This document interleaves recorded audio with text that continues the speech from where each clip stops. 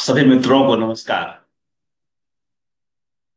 साथियों, हम लोग इन दिनों जनसुलभ पुस्तकालय की ओर से कलाकार और कला चिंतक जय स्वामीनाथन जी पर एकाग्र का आयोजन कर रहे हैं। आज इस एकाग्र की पांचवी कड़ी है और इसमें हमारे साथ यूसुफ जी जुड़े हुए हैं।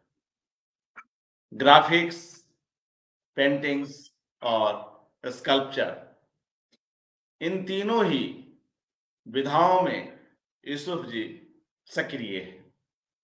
खासतौर से ग्राफिक्स आर्ट और पेंटिंग में। और आजीवन कला की अध्ययता रहे और विभिन्न महत्वपूर्ण संस्थानों के साथ जुड़े रहे।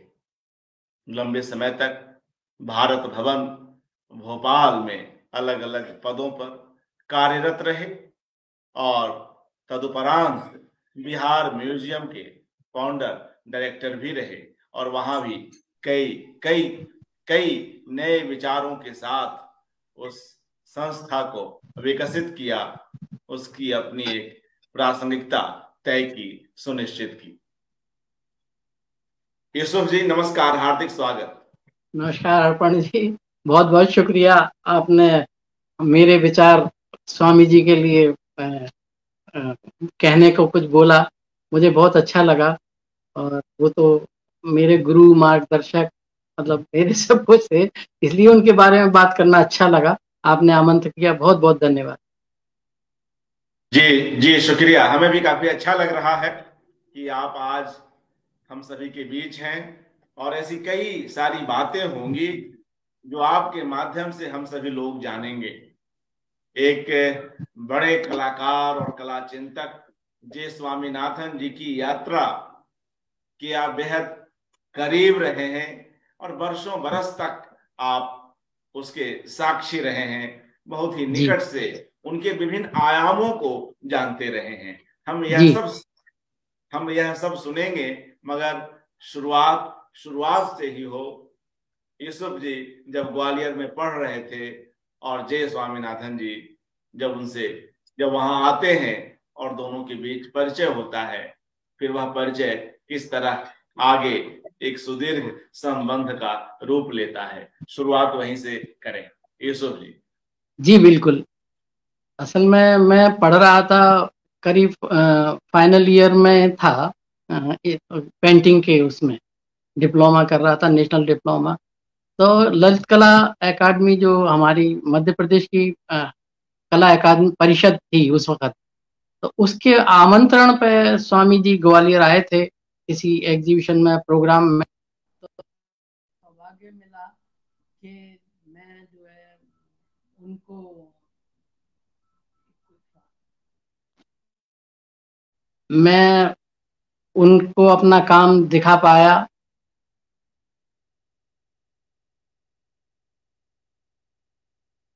और उस बीच में अगर कॉल कॉल आता है तुरंत काट दिया करें। कॉल को तुरंत काट दिया करें। हाँ मैं वो काटा था इसीलिए वो थोड़ा गड़बड़ हो गया था। जी तो जी जी। वो मेरा पहला पहली मुलाकात उनसे उस वक्त हुई वो मैं एक अलग कमरे में रहता था और उसमें मैं काम करता था मेरे और भी दोस्त थे मेरे साथ। तो उनको मैंने काम दिखाया उनको काम बड़ा पसंद भी आया और उन्होंने बड़ा मुझे प्रोत्साहित किया। तो इसलिए जब नेशनल स्कॉलरशिप के फॉर्म को भरने की बारी आई तो मैंने उनको गुरु के रूप में चुना। और ऐसे सिलसिला चला। फिर 76 में ललित कला अकादमी का रीजनल सेंटर पहली बार दिल्ली में, गढ़ी में खुला। तो उन, वहाँ पर रह के मैंने उनके साथ काम भी किया वर्कशॉप में काम किया। उनको काम भी दिखाता था। और वहीं मैंने स्कॉलरशिप के लिए उनको गुरु के लिए चुना था। तो वहीं से उनका लेटर वेटर लिया। इस तरह से उनसे संपर्क बना रहा।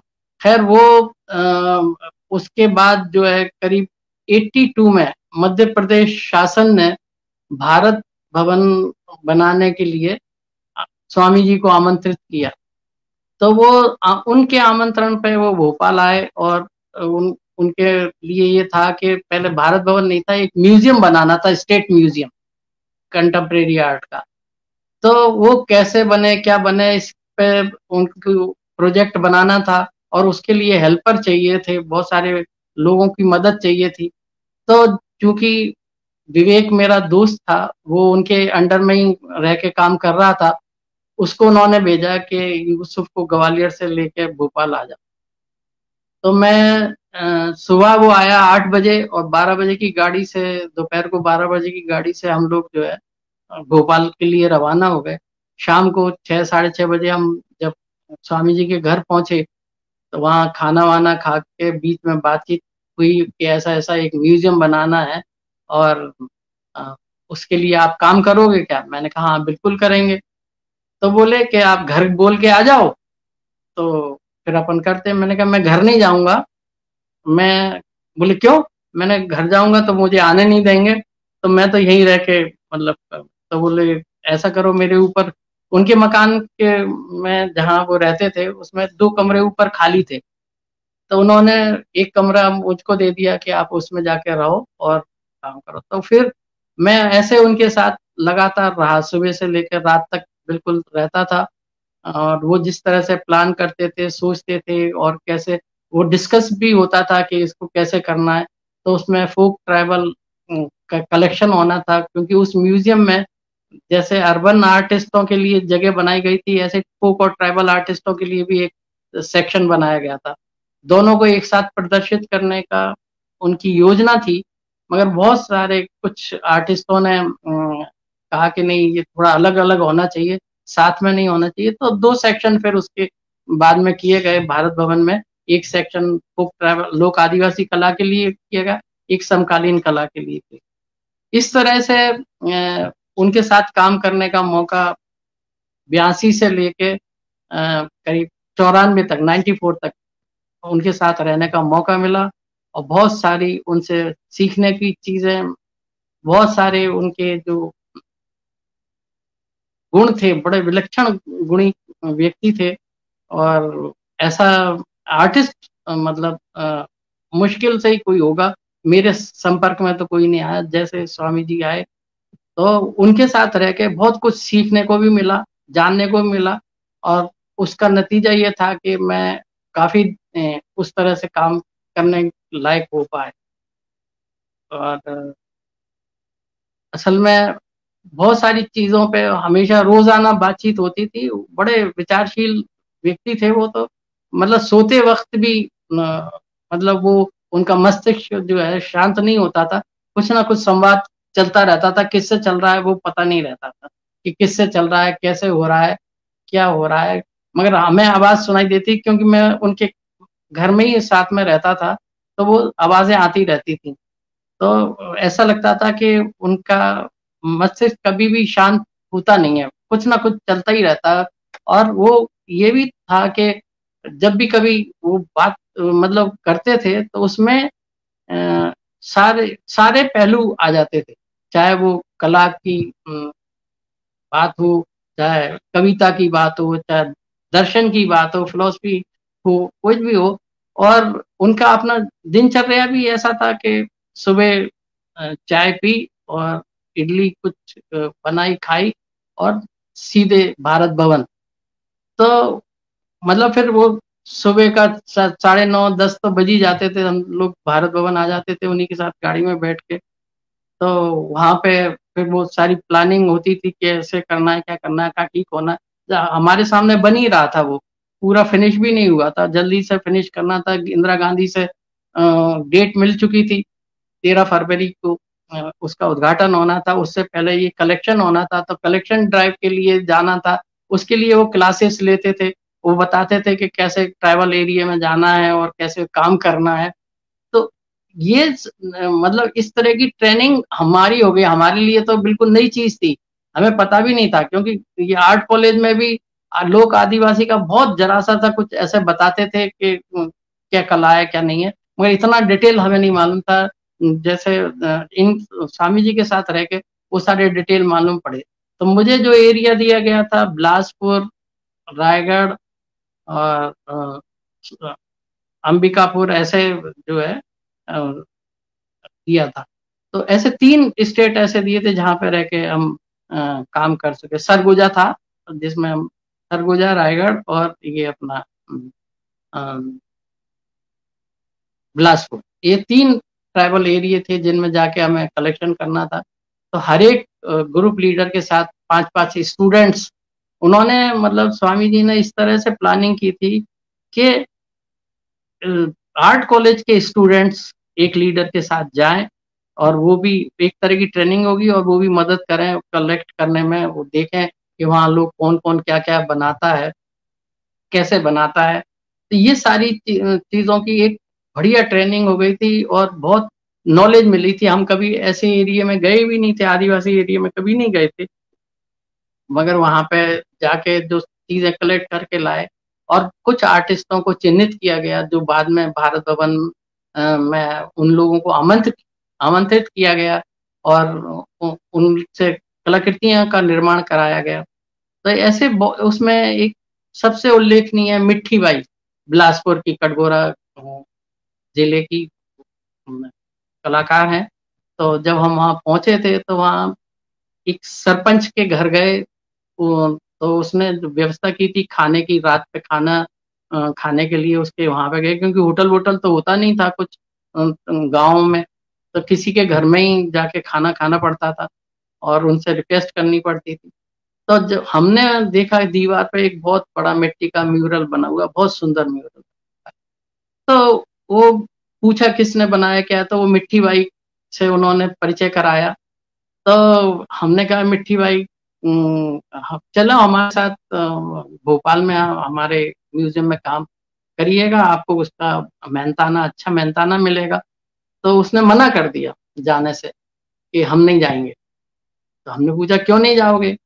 हमने स्वामी जी को सब बताया कि ये इतनी बड़ी, बढ़िया चित्र, वो मूर्तिकार रिलीफ बनाती हैं और ऐसे ऐसे मना कर रही हैं। तो उन्होंने पूछा, क्यों? मतलब ऐसे मना क्यों कर रही? पूछो उससे। तो जब हमने उससे पूछा तो उन्होंने कहा कि, नहीं, आप मेरी हाथ काट दोगे, उंगलियाँ काट दोगे। पता नहीं उसने कहाँ से ऐसा सुन रखा था कि जो अच्छे कलाकार होते हैं, उसके हाथ या उंगलियाँ काट दी जाती हैं। तो फिर पंच, सरपंच को कहा कि भाई आप उनको कन्विंस करो कि ऐसा नहीं है। तो सरपंच ने अपनी छोटी लड़की को उनके साथ भेजा और वो फिर भोपाल में आके उन्होंने, उनको थोड़ा कॉन्फिडेंस आया कि सरपंच की लड़की भी साथ में है। फिर यहाँ भोपाल में आके उन्होंने काम किया। बहुत अच्छे म्यूरल उन्होंने बनाए यहाँ पर, जो अभी भी संग्रहित हैं भारत भवन के संग्रहालय में। इस तरह से मतलब एक तरह की हमारी ये ट्रेनिंग ये भी हुई कि आदिवासी एरिया में जाना, उनसे काम लेना, काम कलेक्ट करना और भारत भवन के आदिवासी संग्रहालय को समृद्ध करने में योगदान देना। तो उसमें ये सारे कला विद्यार्थी भी थे और हम भी थे। तो उन सब के योगदान से ये सब इस तरह का संग्रहालय, आदिवासी कला संग्रहालय बन पाया, जिसे बाद में इंदिरा गांधी ने बहुत पसंद किया और उसके भारत भवन को देखने के बाद ही उन्होंने जो है, जो पाँच सेंटर बनाए, zonal centre, cultural zonal centre, उसके बाद बनाए। और इंदिरा गांधी ने कहा कि ऐसे कुछ बनना चाहिए भोपाल में, जैसे भारत भवन है तो उसके बाद ये कल्चरल सेंटर बने, जोनल सेंटर तो भारत भवन का इतना बड़ा योगदान रहा उस स्वामी जी का कि उन्होंने उस एक तरह की ऊर्जा भर दी थी पूरे देश में कि लोग उस तरह से देखने, सोचने लगे थे। और आज ये हुआ कि कई सौ कलाकार भारत भवन में ये भोपाल में आके बस गए हैं। गौंड गौंड कलाकार तो बहुत ज़्यादा आके बस गए हैं। कुछ भील भी आए हैं। मगर ये जो है सब उनकी वजह से हुआ कि उन, उन्होंने अपना घर बना लिया भोपाल को और यहाँ से रह के काम करने लगे। और ताजुब ये हुआ कि यहाँ पे रह के काम करने से उनको बड़ा, बहुत बड़ा मार्केट भी मिल गया। इतने लोग मतलब देशी विदेशी लोग सब कला संग्रह करता, वायर, वो सब आने लगे यहाँ पर और उनके काम को खरीदने लगे। तो आज बड़े संपन्न तरीके से वो लोग सब रह रहे हैं। तो एक बड़ा योगदान ये था, स्वामीनाथन का उस वक्त। दूसरा एक बड़ा, बहुत बड़ा योगदान ये था कि पूरे मध्य प्रदेश में ग्राफिक कला का कुछ था ही नहीं मामला। मतलब जो आर्ट कॉलेज थे, उसमें सिर्फ़ वुड कट और लिनो कट होता था। मतलब एचिंग प्रिंटिंग वगैरह जो मशीन और ये सारी कुछ चीज़ें थी नहीं सिल्क स्क्रीन लिथोग्राफी एचिंग ये कुछ भी नहीं था। तो मेरी उनसे जब बहुत सारी बातचीत होती थी तो जब भारत भवन बन गया और एट्टी थ्री में ये हुआ कि भाई इसमें पेंटिंग का स्टूडियो बनाया जाए और स्कल्पचर का स्टूडियो बनाया जाए।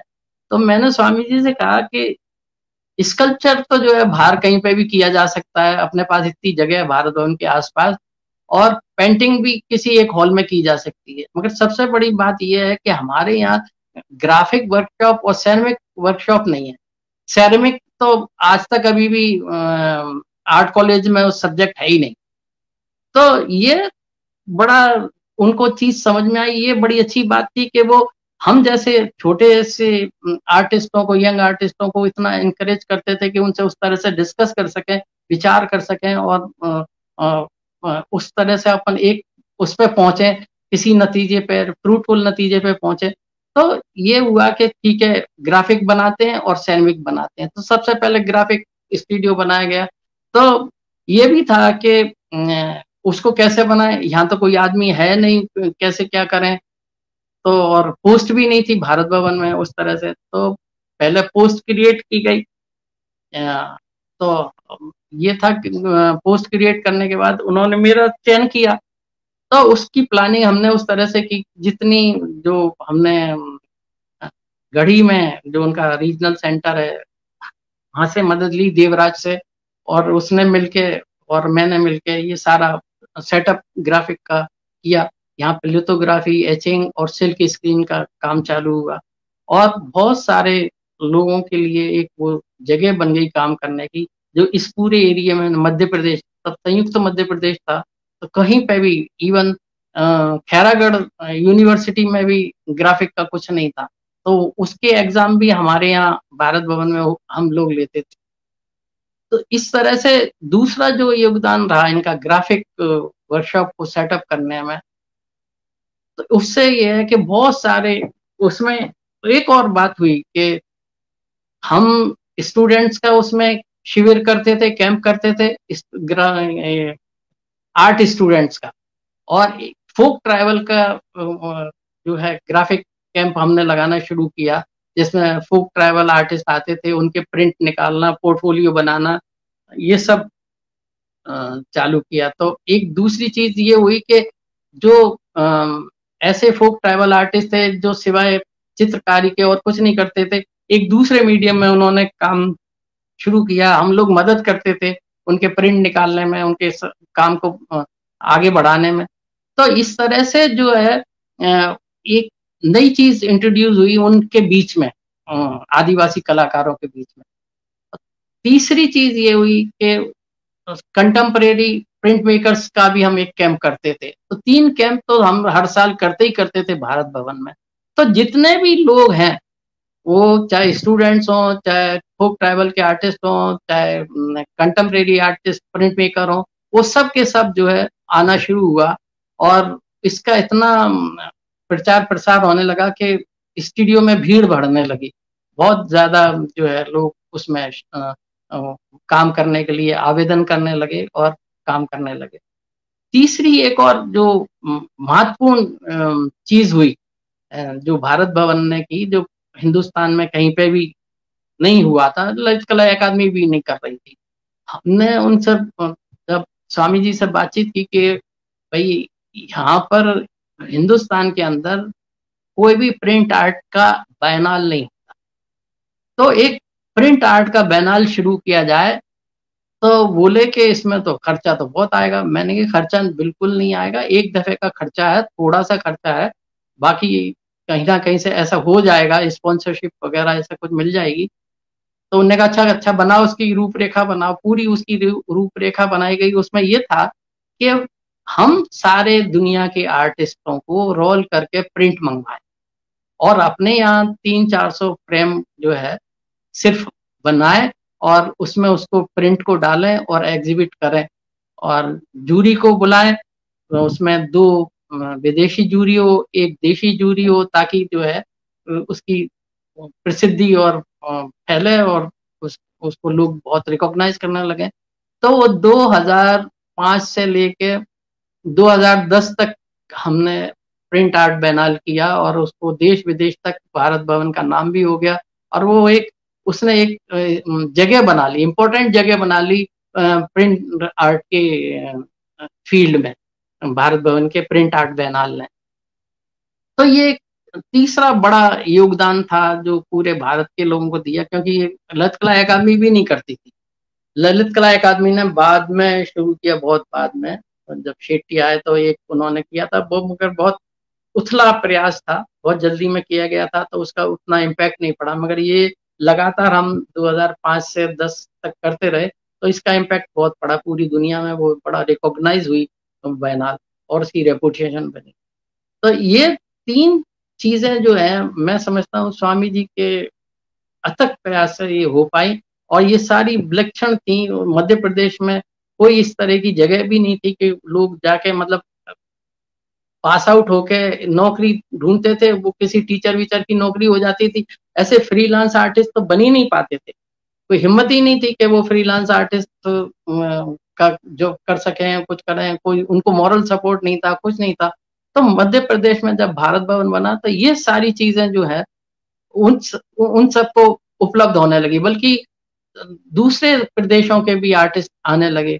इतने आर्टिस्ट आने लगे कि उसमें जगह ही नहीं होती थी भारत भवन के जो ग्राफिक वर्कशॉप में 25 25 30 30 लोग एक साथ काम करने के लिए, बल्कि नंबर लगता था लाइन लगती थी कि भाई हमारा टाइम कब आएगा, कब हम प्रिंट निकालेंगे, कब हम डिस्प्ले कर पाएँगे, क्योंकि हर बार ये होता था कि स्वामी जी आते थे, देखते भी थे और तो आर्टिस्टों के लिए एक बड़ी सुविधा थी, यंग आर्टिस्टों के लिए कि उनका काम बोर्ड पे लगे रहे और स्वामी जी आए, देखें, कोई बातचीत हो।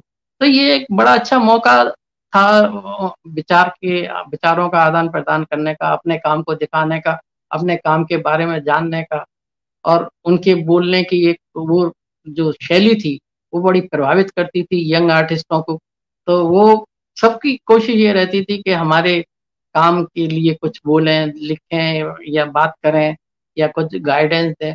तो इस तरह से जो है, बहुत बड़ा एक मूवमेंट हिंदुस्तान के अंदर चला। और उसी का नतीजा ये था कि इंदिरा गांधी को भी लगा कि ऐसा एक संस्था जो है, सब जगह बनना चाहिए। तो उसके परिणाम स्वरूप ये कल्चरल सेंटर जोन बने, पाँच जो बने। वो उसी को देखने के बाद ही बने। इस तरह का ये सारा उनके अथक प्रयास से, उनकी बहुत मेहनत से मतलब उनकी सारी चिंता भारत भवन रहती थी। इवन रात को बारह एक बजे भी लगता था तो देखने चलते थे, चलो अपन चलते हैं, गाड़ी निकलवाते ड्राइवर से और फिर वहाँ जाके देखते पूरी बिल्डिंग को। कई बार पानी सीपेज की प्रॉब्लम आ जाती थी बरसात में। तो वो इतनी भयंकर प्रॉब्लम थी जिससे कलाकृतियों के नष्ट होने, खराब होने का जो है डर रहता था। तो वो सब बरसात हुई कि फ़ौरन हम लोग को भारत भवन आना पड़ता था उन्हीं के साथ और वो सब देखना पड़ता, कहाँ कहाँ से पानी आ रहा है कलाकृतियों को हटाना, ये करना। तो उसके लिए भी रात दिन लग के उसको ठीक कराना पूरा। तो आज वो मतलब वो प्रॉब्लम तो नहीं है वाटर सीपेज की, मगर शुरुआत में थी ये, क्योंकि बहुत जल्दी में उसका निर्माण हुआ था, कई दिनों से उसका निर्माण टिका हुआ था। ये भारत भवन की स्थापना ऐसे हो नहीं रही थी। यहाँ पे स्टेट एम्पोरियम बनाए जाने थे सारे स्टेट्स के। तो ये चीफ मिनिस्टर के बंगले के पास था, ये जगह इसका जो स्टेट एम्पोरियम बनाना था तो यहाँ चट्टानों को रॉक को तोड़ने के लिए ब्लास्ट किया जाता था, बारूद लगा के उनको तोड़ा जाता था। तो श्यामा चरण शुक्ल उस वक्त चीफ मिनिस्टर थे। तो उनको बड़ी प्रॉब्लम होती थी कि ये आवाज़ होती है बहुत ज़ोर से तो उन्होंने रुकवा दिया था वो काम।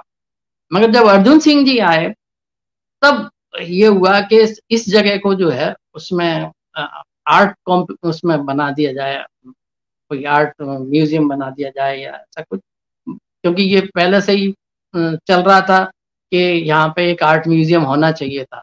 तो जो कला परिषद है, जो आर्ट एकेडमी है यहाँ स्टेट की, उसके पास एक ज़मीन थी वहाँ पे बनाने का था। मगर बाद में अर्जुन सिंह जी ने कहा कि आप इसमें शुरू कर दीजिए। तो अर्जुन सिंह के जी के बड़े इंटरेस्ट लेने की वजह से ये ये हुआ कि, चलो यहाँ पर शुरू कर दो।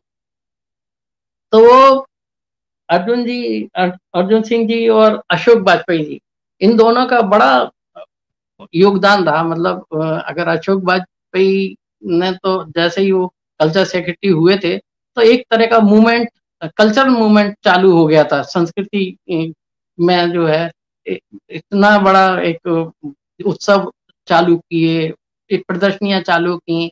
मतलब उनमें सब लोगों को बुलाना, बड़े आर्टिस्टों को बुलाना तो मेरा तो मुलाकात रजा से, उन्हीं से, स्वामी जी से, ये और भी जितने भी आते थे हिम्मत शाह वगैरह, जो ऐसे सारे लोगों से मिलना जुलना ऐसे चालू हो गया था। मगर जब ये भारत भवन बना तो यहाँ वो पूरा समट के ये केंद्र हो गया भारत भवन।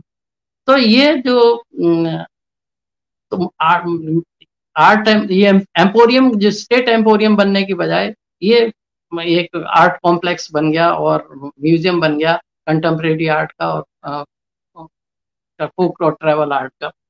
तो इस तरह से उसका ये चलने लगा। इसमें ये सारी चीज़ें धीरे धीरे जुड़ती गई। उसमें फिर वो थिएटर के लिए एक सेक्शन बना, रंगमंडल करके, जिसमें बाबा कारण फैट करते थे। तो ये हमारे लिए एक बड़ी बात थी कि इतना बड़ा एक थिएटर पर्सनलिटी हमारे साथ है, हम लोग उनके साथ हैं। रोज देख रहे हैं काम करते हुए, रोज उनके कामों को देख रहे हैं। रोज उनके थिएटर में जो रिहर्सल हो रही है, वो देख रहे हैं। प्रदर्शन जब हो रहा है शो हो रहे हैं तो वो देख रहे हैं। ये सारी चीज़ें देखने को मिली। संग, संगीत के लिए भी उन्होंने रखे हुए थे। तो संगीत का सेक्शन भी चालू हुआ। तो उसमें भी बहुत सारे बड़े बड़े संगीतकार ये सारे आते थे। तो ये सारी चीज़ें इतनी ज़्यादा वो हो गई थी। केंद्रित तो यहाँ पर भोपाल में कि सब लोगों की नज़र इधर आने लगी कि इधर हो क्या रहा है? और सबकी इच्छा होने लगी कि हम भी उसमें शामिल हों उनकी गतिविधियों में। और वो संभव भी हुआ बहुत सारे लोगों को इस तरह के मौके मिले कि वो लोग उन, उन सारी गतिविधियों में शामिल हुए। चौरसिया जी थे जो म्यूज़िक का सेक्शन संभालते थे बाद में गुंदेचा बंधु संभालने लगे। ऐसे बहुत सारे लोग उनसे जुड़ते चले गए और इसका इतना बड़ा स्पान हो गया इतना विस्तारित हो गया पूरे देश में कि बड़ा मतलब हमको तो गर्व ही होता था कि हम ऐसे संस्था में काम कर रहे हैं। तो इस तरह से उसने अपनी एक उपस्थिति दर्ज करा दी थी पूरे भारत में। जो बहुत सारे लोग जो है उसको देखने भी आने लगे थे, दूसरे स्टेट के लोग भी आने लगे थे देखने के लिए। तो एक दफे बिहार सरकार के सेक्रेटरी आए, देखने के लिए एक ग्रुप आया कि ऐसा कुछ उनको वहाँ पे बनाना है। तब जब देखा तो सारा घूम घाम के अशोक जी ने कहा, आप देख देख लीजिए, फिर अपन बाद में बात करते हैं। इतने में क्या स्वामी स्वामी जी ये भूल गए थे, जब इंटरनेशनल प्रिंट बैनाल होना था तो उसकी जूरी का जो खर्चा था, वो बजट में नहीं लिख पाए थे। तो वो हाल के हाल दो ढाई लाख रुपया मतलब सैंक्शन होना था तो अशोक जी और स्वामी जी का भी ऐसा था, जहाँ खड़े हैं वहीं साइन कर देते थे। मतलब इतनी छूट दी हुई थी स्वामी जी को भी और अशोक जी भी इतने उस तरह से थे कि चलो जो जेन्युइन काम है मतलब वो तो करने में कोई हिचक होती नहीं थी। तो उनके सामने ही जब वो जूरी के दो ढाई लाख रुपए सैंक्शन किए तो वो तो सब हैरान हो गए, बोले, ये तो हमारे यहाँ हो ही नहीं सकता कि ये स्वामी जी कहें अशोक जी, ये हम ना ये तो हम भूल गए इसको तो सैंक्शन कर दो और वही खड़े खड़े उन्होंने सैंक्शन भी कर दिया वो पैसा। तो ये जो सारी चीज़ देख के वो लोग तो क्योंकि इतना लंबा प्रोसेस है पैसा सैंक्शन कराने का और ये सब करने का बहुत स्तर से गुजरना पड़ता है तो ये तो हो ही नहीं सकता, संभव नहीं हो सकता। तो ऐसी बहुत सारी वाक्य हुए हैं जिसमें बहुत सारे लोगों ने कोशिश की कि उस तरह का ये संस्था बना सके, मगर उसके लिए संस्था बना, स्वामी जी या अशोक जी सरी के आदमी तो मिलना मुश्किल थे। कि वो उस तरह से कोई सोच है, उस तरह से इतना मतलब विस्तृत दिमाग रखता हो, जो चीज़ों के परे जाके भी मतलब काम कर सके। तो ये सिर्फ़ संभव इसीलिए हो सका उन दोनों की जोड़ी ने और हम लोगों के, उससे जो है, हमने भी बहुत सी चीज़ें सीखी, उन्हीं से ही सीखी सारी चीज़ें, चाहे एडमिनिस्ट्रेशन की हो, चाहे कला की हो, चाहे कैसे सारी ऑर्गेनाइज करने हैं प्रोग्राम बैनाल को चलाने के लिए जब स्वामी जी 94 में चले भी गए थे। तब भी बैनाल हमने कंटिन्यू रखा। तो बहुत स्पॉन्सरशिप लेकर भी आते थे ताकि उसको हम जारी रख सकें। किसी तरह से 2010 तक जब तक मैं वहाँ से रिटायर नहीं हुआ, तब तक तो वो चलता ही रहा। ये सब और ये भी था कि उसके इन सारी चीज़ों की वजह से और दूसरे स्टेट्स ने भी कुछ कुछ करने की कोशिश तो ज़रूर की। भले ही वो सफल नहीं हो पाए हों मगर बहुत चीज़ें उन्होंने बनाने की कोशिश की। अर्पण जी हेलो। जी जी मैं सुन रहा हूँ। बिल्कुल मैं हाँ। सुन रहा हूँ। असल में समझ में नहीं आ रहा आप सुन भी रहे हैं कि नहीं नहीं, नहीं, नहीं बिल्कुल बिल्कुल धारा प्रवाह आप बोल रहे हैं हाँ। और अच्छा लग रहा है। क्योंकि ये जो एक एक करके जो ये माइनोट में जो डिस्क्रिप्शन है इसी की ज़रूरत है कि कोई संस्था अंततः कैसे बनती है। हमारे पूर्व में भी किसी एक वक्ता ने यह बात कही थी कि भाई चार दीवारी संस्था नहीं होती है। वहाँ जिस तरह का लाइवनेस चाहिए जिस तरह का समर्पण और जिस तरह का परस्पर विश्वास चाहिए वह आवश्यक है जिसका अभी आपने उदाहरण दिया कि कैसे खड़े खड़े जय स्वामीनाथन की जो है वो उन उनके द्वारा बनाए गए नोट की स्वीकृति मिल जाती है संस्कृति सचिव की ओर से। क्योंकि ये दोनों ही लोग समर्पित लोग रहे और जान रहे थे कि यह एक बड़े मूल्य के लिए यह सब काम हो रहे हैं तो इसमें किसी भी तरह की संकीर्णता का भाव नहीं था। तो अच्छा लग रहा है जब इतनी बातें हुई भारत भवन के निर्माण को लेकर और उसमें जय स्वामीनाथन जी की सक्रियता को लेकर। तो यह भी बतलाएँ कि जय स्वामीनाथन जी बतौर पेंटर समादृत हैं लोगों के बीच।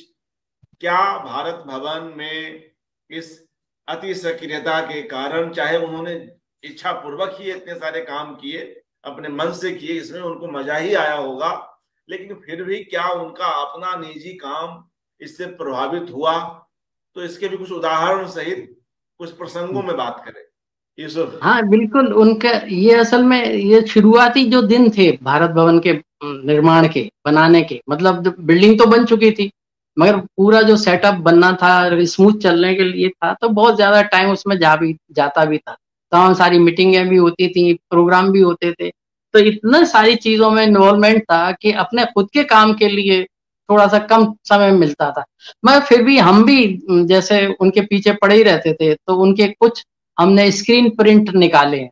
वहाँ पे वो रात में आ जाते थे और हम लोग रात में काम करते थे सात आठ बजे के करीब ग्राफिक वर्कशॉप में।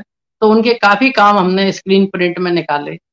तो ये सारा काम किया और दूसरा जब कभी एग्जीबिशंस वगैरह होती, के लिए उनका वो आता था तो उसमें वो कर भी लेते थे। मेरे को याद है धूमीवल में उन्होंने की गैलरी और फिर बॉम्बे में कैमो इसमें पंडोल में एक काम किया तो उसके लिए उन्होंने बहुत काम किया। ऐसा नहीं है कि उन्होंने काम नहीं किया मतलब लगातार काम भी मतलब उतना कंटिन्यूशन में नहीं होता था, मगर जैसे बड़ी एग्जीबिशन करनी है तो वो बिल्कुल करते थे। फिर उसमें वो लग के ही करते थे मतलब पूरा का पूरा समय उसमें वो देते थे।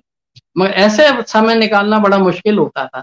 तो हम लोग तो जैसे स्क्रीन में कुछ करना है, कुछ डिज़ाइन तैयार करा लिया तो हम करने लगे तो वो आके खड़े हो गए, बैठ के देखते रहे कि ऐसे नहीं, ऐसे करो, ऐसे नहीं। तो ये सारी चीज़ें जो है वो उस तरह से, उनका उस तरह से काम होता रहा वहाँ पर। काम रुका तो नहीं था, बिल्कुल नहीं रुका था, मगर उसमें एक और बात हुई थी काम के उसमें, कि टाइम्स ऑफ़ इंडिया में सूजा ने एक इंटरव्यू छापा, एक तो। तो सूजा का एक स्टेटमेंट छपा, उसमें था कि Swami is a landscape painter. तो ये दूसरे दिन वो टाइम्स ऑफ़ इंडिया का अखबार लेकर सुबह ही सुबह आए मेरे पास, बोले, देखो, सूजा मेरे को बोला ये लैंडस्केप पेंटर तो फिर ये एक द्वंद चालू हो गया वहाँ पर कि क्योंकि वो शुरुआत में वो इस इस तरह का काम करते ही नहीं थे ये वर्ड सीरीज़ का जो काम नहीं करते थे और शुरुआत में जो बिल्कुल जो साइन एंड सिंबल करके जो नेहरू फेलोशिप उनको जैसे मिली थी वो साइन एंड सिंबल पे मिली थी। तो वो आ, जो जो अभी उसके बर्ड सीरीज़ के बाद के जो काम है वो करीब करीब उसको कंटिन्यू किया उन्होंने उसके बाद वर्ड सीरीज़ का छोड़ के। मगर ये था कि उनका अपना स्वभाव की वजह से मैं उनको कई बार जैसे देखता हूँ और सोचता हूँ तो उनका जो स्वभाव तीन तरह से था। एक तो वो पहले सोशलिस्ट थे, फिर कम्युनिस्ट हुए, फिर अनार्किस्ट जैसे हुए। तो मैं उनको ऐसे देखता था, उनके पूरे जीवन को। तो जो वर्ड सीरीज़ का काम है, उसमें वो वेल सेटल्ड वेल प्लान और इतना डिसिप्लिन वाला काम आपको देखने को मिलेगा। मगर साइन एंड सिंबल और जो लास्ट का जो उनका काम है, वो जो थोड़ा सा ट्रैवल का सा टच लिए हुए काम है। तो वो बड़ा अवगढ़ और अनार्किस्ट सरी का काम आपको दिखेगा। उसमें वो सेटलनेस वो डिसिप्लिन वो इसका डिसिप्लिन और उसके डिसिप्लिन में बड़ा फ़र्क है। इसमें जो सीधी लाइन है, इसमें जो वर्ड है और जो ट्री है, जो सीढ़ियाँ हैं, वो मतलब उस तरह से बड़ी वेल सेटल्ड है। इसमें वो सेटलनेस नहीं है साइन एंड सिंबल में और ये ट्राइबल के जैसे उस काम में। उसमें बिल्कुल जैसे अपने आप को उन्होंने स्वतंत्र छोड़ दिया है, जैसे हो रहा है वैसे। तो इस तरह से और उसमें उनका ये भी चिंता रहती थी कि कभी भी जो काम था ना, वो एकदम से बन नहीं पाता था। मतलब उनके नज़र में नहीं बन पाता था, हमारे लिए तो बहुत अच्छा होता था वो, कि वो जब करते थे शुरू में और पूरी रात लग के काम किया और सुबह एक सर्वेंट होता था, उसको कहते थे खरज दो। तो वो उसको साफ़ कर देता था, फिर दोबारा से करते थे वो। तो हमें तो कई बार लगता था कि अच्छा काम है, मगर उनके अपने हिसाब से वो अच्छा नहीं होता था। तो पूरा बनाने के बाद भी उसको रिमूव करवा देते थे। और ये, इस, जो लास्ट के कामों में, जो वैक्स का यूज़ करते थे वो। अच्छा विंसन न्यूटन के कलर यूज़ करते थे तो विंसन न्यूटन कलर उतने मिलते नहीं थे यहाँ पर। तो कोई या, तो लत कला एक आदमी से आ जाए या कहीं और से बाहर से कोई आ रहा हो वो लेके आए। तो उसके लिए ये था कि वो कैसे काम शुरू करें। जब मेरे से बातचीत हुई तो मैंने उनको सजेस्ट किया कि वैक्स में मिला के जैसे बहुत सारे लोग करते हैं उसको रंग को बढ़ाने के लिए। तो बोले वैक्स तेरे को आता है बनाना? मैंने कहा मुझे आता है मुझे शांति देवे ने सिखाया है। तो मैं, मैंने फिर वो कलर वैक्स बनाया फिर उन्होंने उस बना के किया। तो ये बहुत सारी टेक्निकल प्रॉब्लम भी थी। मतलब भोपाल में तो आर्ट शॉप ही नहीं थी उस तरह की कि उस तरह का सामान मिले। मतलब हमने उसको बोल बोल के और कहा कि हम ही खरीदेंगे। आप लाओ ये सारा सामान लाओ। तब उसने वो सामान लाना शुरू किया। यहाँ पर जो आर्ट शॉप है ज्ञान भारती करके। तो उसने रखना शुरू किया धीरे धीरे। तो ये बड़ा मुश्किल हो गया था। आर्ट आर्ट मटेरियल और कैनवास नहीं मिल रहा और स्ट्रेचर नहीं मिल रहा है। तो ये ये मतलब स्वामी जी के लिए भी मतलब मुश्किल थी। मैं या तो दिल्ली से लेकर आया हूँ तो बहुत सारे सामान दिल्ली से आता था तब वो कर पाते तो, तो ये सारी बाधाएँ थी जिसकी वजह से वो उतनी तेज़ी से काम नहीं कर पाते थे। और मतलब जो दो तीन कारणों में एक तो भारत भवन हमेशा मतलब उनके दिमाग में रहता था, इसको कैसे और आगे बढ़ाना है, करना है। और उसकी बहुत सारी गतिविधियों में उनका जो इन्वॉल्वमेंट था, हर चीज़ में इन्वॉल्वमेंट था। कि अगर मान लीजिए कविताओं हो रहा है, विश्व कविता का प्रोग्राम हो रहा है तो उसमें किस तरह का पोर्टफोलियो होगा, ये कैसे होगा इनविटेशन कैसे होगा, और थिएटर में अगर बैकड्रॉप कैसे होगा मतलब बहुत सारी चीज़ों का इतना इन्वॉल्वमेंट था। कि काम करने में मतलब उस तरह से वो अपने काम में उतना ध्यान नहीं दे पाते थे। मगर उनको मज़ा भी आता था, उसमें पूरे सारे लोगों को इन्वॉल्व करते थे, जितने यंग आर्टिस्ट थे उस वक्त, उन सबको इन्वॉल्व करते थे। तो हम लोगों को तो बहुत सीखने को उस तरह से हर विधा के उसमें काम करने से सीखने को मिला। और बल्कि हर विधा के जितने भी लीजेंडरी आर्टिस्ट आते थे, बड़े, सारे नोटेड आर्टिस्ट आते थे तो उन सबसे मिलना और बातचीत करना उनका सानिध्य बहुत मतलब उस तरह से नॉलेज होना। पहले तो इतनी होती भी नहीं थी कि हमें तो पता ही नहीं था इतना कहीं एक आध बार ही कभी चरणदास चोर देगा था तो मतलब ऐसे कभी कभी थोड़ा थोड़ा सा कुछ दिखा कारण जी का जब आ, ये कोतवाल घासीराम कोतवाल देखा तब पता लगा कि मतलब कारण जी का क्या किस तरह का सोचना है करना है। तो ऐसी विधाओं के बहुत जो एमिनेंट आर्टिस्ट थे वो आ, आते थे उनसे बातचीत होता था वो अपना काम कर प्रदर्शित करते थे। तो उन उन सबके कामों को जानना देखना ये ये सब स्वामी जी की वजह से मतलब इतनी एक स्पेस बन गई थी कि पूरे हिंदुस्तान के लोग उधर आके सम्मिलित होना चाहते थे। तो ये भी एक चीज़ थी। तो काम करने में मतलब वो कोताही तो नहीं करते थे मगर ये था कि उनके दिमाग में इतनी सारी चीज़ें चलती रहती थी कि आप सोच ही नहीं सकते थे। मतलब सोते में आदमी बातचीत कर रहा है तो आप समझ लो कि उसका दिमाग कितना सक्रिय है। एक दफे की बात है कि हम निर्मल वर्मा और स्वामी जी किसी की पार्टी से लौट रहे थे। रास्ते में दो कुत्ते के पिल्ले जो है जीप के आगे आ, आ गए। तो वो ड्राइवर को बोला रोको रोको रोको रोको। पता नहीं क्या हुआ, हम लोग पीछे बैठे हुए थे। तो देखा कि वो यार, एक तो पिल्ले मर जाएँगे, कोई ना कोई कुचल देगा, कोई गाड़ी कुचल देगी। तो राम प्रकाश ड्राइवर था, उसको बोला कि, यार, इनको उठा लाओ। तो और निर्मल से बोले, एक, तुम रखो निर्मल, एक मैं ले जाता हूँ। नहीं तो ये मर जाएँगे ये तो। तो ले आए हम, निर्मल एक कुत्ते का पिल्ला ले गए, वो उनके घर पे उनको छोड़ा। और हम स्वामी जी के घर में चले गए तो वो हमारे साथ आ गए क्योंकि हम स्वामी जी के साथ ही रहते थे तो वो उस पिल्ले को रख दिया तो रात में वो उसको रोना आ गया, पिल्ले को वो चिल्लाने लगा, उसको माँ की याद आ रही होगी या क्या पता नहीं कुछ तो ये अपने सोते सोते चुप हो जा, चुप हो जा हाँ हाँ हाँ उससे बात कर रहे हैं और सोते जा रहे हैं, वो बात करते चल रहे हैं, रात पूरी रात ऐसे हो गई हम सुबह जल्दी उठे हमने सोचा ये तो पूरा सोने ही नहीं दिया कुत्ते के पिल्ले ने तो जो है इसको कुत्ते इस पिल्ले को ले जाके जो है कहीं दूर तो जब राम प्रकाश पाल आया ड्राइवर तो हमने उसको कहा कि भैया इसको दूर छोड़े नहीं तो ये आज बिल्कुल ना इनको सोने दिया है स्वामी जी को ना हमको सोने दिया वो रात भर इससे बात करते रहे कि चुप हो जा चुप हो जा और हम लोग भी जो है जगते से रहे। तो वो जाके दूर जाके छोड़ आया उस पिल्ले को। तो वो हम्म, जब स्वामी जी उठे तो वो उठते ही पूछा बिल्ला कहा है? तो हमने कहा साहब पता नहीं वो यही था वो चला गया कहीं भाग गया? अरे उस राम प्रकाश पाल को बुलाया जा ढूंढ के ला अब वो इधर उधर गया और ढूंढ के उसे भी मालूम था कि वो खुद ही छोड़ के आया है तो, तो आके कह दिया साहब मिला नहीं वो तो जाने कहा चला गया? तो बोले जब भी मिले उसको सीधे घर लेके आना। तो इस उस उनका मतलब उस तरह की कंसर्न हर चीज़ से जो कंसर्न था ना वो उनको इतना बेचैन किए रहता था। जो मैं समझता हूँ कि हर चीज़ की चिंता मतलब देश की भी चिंता, प्रदेश की भी चिंता, कलाकारों की भी चिंता यंग आर्टिस्टों की भी चिंता मतलब वो सबकी लोगों की जो चिंता उनके उसमें रहती थी, उससे बड़े विचलित वो रहते थे।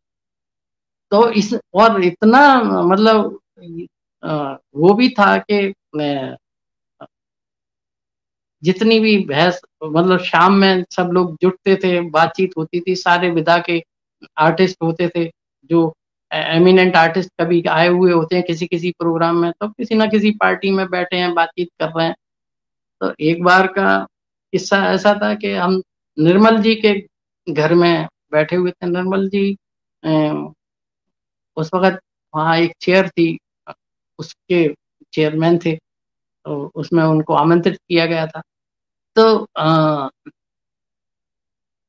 ऐसे ही कुछ बहस हो गई। जिनेन्द्र जी भी थे शायद वहाँ उस वक्त। ऐसी कोई बहस हो गई तो निर्मल जी गुस्सा आ गया। स्वामी जी से बहस, में बोले, Swami ji get out from my house तो हम लोग तो सुट हो गए। हम इतने बड़े बड़े लोग इस तरह से बात करें तो हमारे तो जीवन में कभी ऐसा हुआ नहीं था कि ऐसा कुछ हो। तो स्वामी जी मुझसे बोलते हैं, देखो, ये मेरे को कह रहा है get out from my house इसके बाप का घर है क्या? तो खैर, हम लोग तो चले आए। चले आए दूसरे दिन सुबह। कला परिषद में ऑफ़िस लगता था, स्टेट अकेडमी का। तो उधर से निर्मल जी चले आ रहे हैं इधर से हम लोग स्वामी जी के साथ चले जाना। है तो सुबह मिलते ही, हेलो निर्मल, हेलो स्वामी। दोनों गले मिले, किस्सा खत्म। तो ये लड़ाई भी उनकी इस तरह की होती थी, चिंता भी ऐसी होती थी, बहसबाजी भी इस स्तर तक चली जाती थी कि बिल्कुल ऐसा लगता था कि अब तो झगड़ा हो गया, अब तो कोई बात ही चीत नहीं होगी। मगर रोज सुबह सब ठीक ठाक हो जाता था। तो ऐसे बहुत सारे इंसिडेंट हुए हैं, जिससे हमें ये मतलब चीज़ें पता लगी कि हम किस तरह से ऐसे व्यवहार करें जिससे वो दुश्मनी में कन्वर्ट ना हो, उसमें क्रिएटिविटी बनी रहे। तो जो क्रिए क्रिएशन क्रिएटिव लोगों की जो लड़ाई झगड़े हैं, वो किस तरह के होते हैं? वो इसी तरह की बहसबाजी होती है और उसी में मतलब वो रात में ही हुई और सुबह खत्म, ऐसे मामला। दूसरे दिन सब गले मिल रहे हैं, बातचीत कर रहे हैं, फिर से बैठ रहे हैं शाम में। तो ये सारी चीज़ें से बहुत अच्छा और जब बातचीत होती थी तो बहुत सारे ऐसे पहलू जिन पे हमारी नज़र नहीं जाती थी, ऐसे प्रश्न जिन पे हम कभी सोच नहीं सकते थे तो वो सब देखने को, सोचने को मिलते थे, बात करने को मिलते थे, डिस्कस करने को मिलते थे। इवन कभी, कई बार वो मतलब उनका जो दार्शनिक जो पहलू था, वो ऐसा पहलू था कि कई बार हमको लगता था ये क्या बात कर रहे हैं। बहुत दिनों बाद समझ में आता था कि ये क्या बात कर रहे हैं। तो उतना जल्दी समझ आती भी नहीं थी। मतलब हमारा तो कोई उस तरह का वो बैकग्राउंड भी नहीं था। इन्हीं लोगों के साथ रह के जितना सीख सके, जितना जान सके तो वो इन्हीं लोगों के साथ, स्वामी जी के साथ ही ज़्यादातर रहे हैं तो वो इसलिए ये सारी चीज़ों को जान पाए।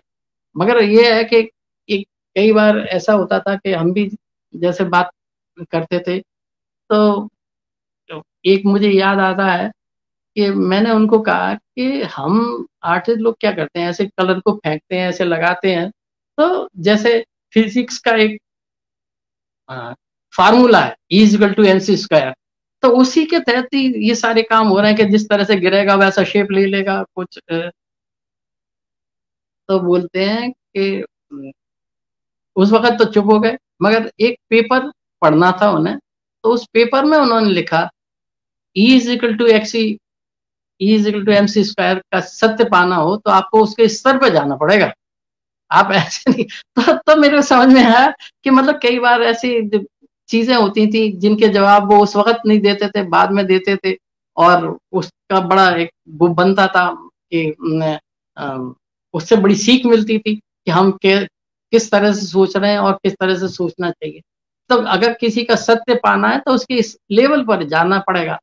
तो अगर प्रकृति के भी जैसे बहुत सारी चीज़ें हैं, हमेशा वो बोलते थे कि आप उसको प्रकृति की, के अपना चेहरा उसमें नहीं देख सकते कला में नहीं देख सकते कला के आईने में नहीं देख सकते तो ये ऐसी बातें थी जो बहुत हमें देर में समझ में आई। बहुत सारी चीज़ें हमें मतलब वो जब भी, ये सारी चीज़ें बोलते कभी कभी बातचीत होती थी तो अपने आप ही ये सब बताने शुरू कर देते थे। और कई एक्सपीरियंस ऐसे थे जो हमने कभी ले नहीं सकते थे जो उन, उन उनके उससे हमें प्राप्त हुए और उनसे हमें मार्गदर्शन था। ये सारी चीज़ें थी। हाँ अर्पण जी और बताएँ। हेलो? हेलो?